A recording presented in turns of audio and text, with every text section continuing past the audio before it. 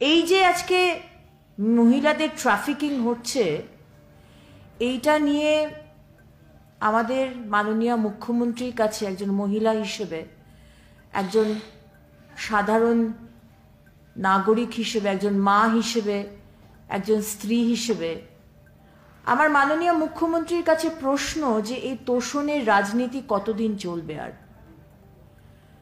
কতদিন আপনি এই থার্টি পার্সেন্টের জন্য কোনো কথা বলবেন না।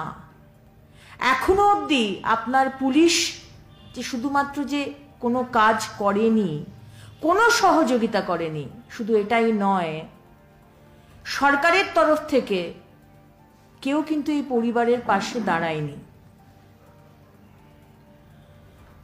আজকে টিএমসি সরকার মহিলাদের জন্য অনেক প্রকল্পের কথা বলেন। যুবশ্রী কতশ্রী। কিন্তু সেগুলো সবই ওই থিওরিটিক্যাল খাতায় কলমেই রয়ে যায়। আজকে পশ্চিমবঙ্গের ছেলেদের মতনই মহিলারা কিন্তু ফিনান্সিয়ালি এখন ইন্ডিপেন্ডেন্ট হতে পারেনি, কারণ সরকার থেকে সেই ব্যবস্থা করা হয়নি। সাত থেকে দশ দিন আগেকার কথা বলছি, আমি আমার সোশ্যাল মিডিয়াতে পোস্ট করেছিলাম।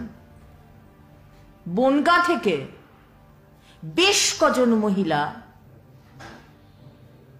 তার মধ্যে নাবালিকাও ছিল, তাদেরকে ধরে নিয়ে যাওয়া হচ্ছে এবং সারা ভারতবর্ষের মধ্যে বিভিন্ন জায়গায় তাদেরকে কাজের লোভ দেখিয়ে, কারণ বেশিরভাগই মানুষ পশ্চিমবঙ্গে অত্যন্ত গরিব, সামান্য একটু কাজের খোঁজে, কাজ যেখানে পাবে, সেই লোভে মেয়েরা বেরিয়ে পড়ছে।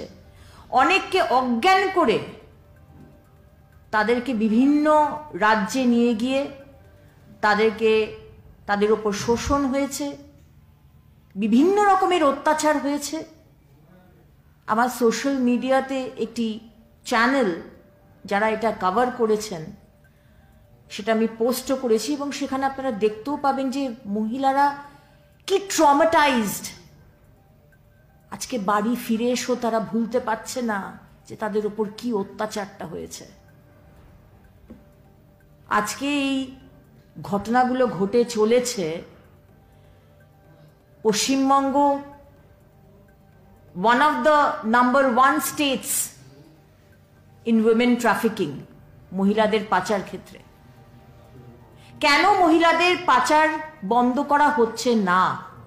এই যে আজকে মহিলাদের ট্রাফিকিং হচ্ছে, এইটা নিয়ে আমাদের মাননীয় মুখ্যমন্ত্রীর কাছে একজন মহিলা হিসেবে, একজন সাধারণ নাগরিক হিসেবে, একজন মা হিসেবে, একজন স্ত্রী হিসেবে, আমার মাননীয় মুখ্যমন্ত্রীর কাছে প্রশ্ন যে এই তোষণের রাজনীতি কতদিন চলবে আর?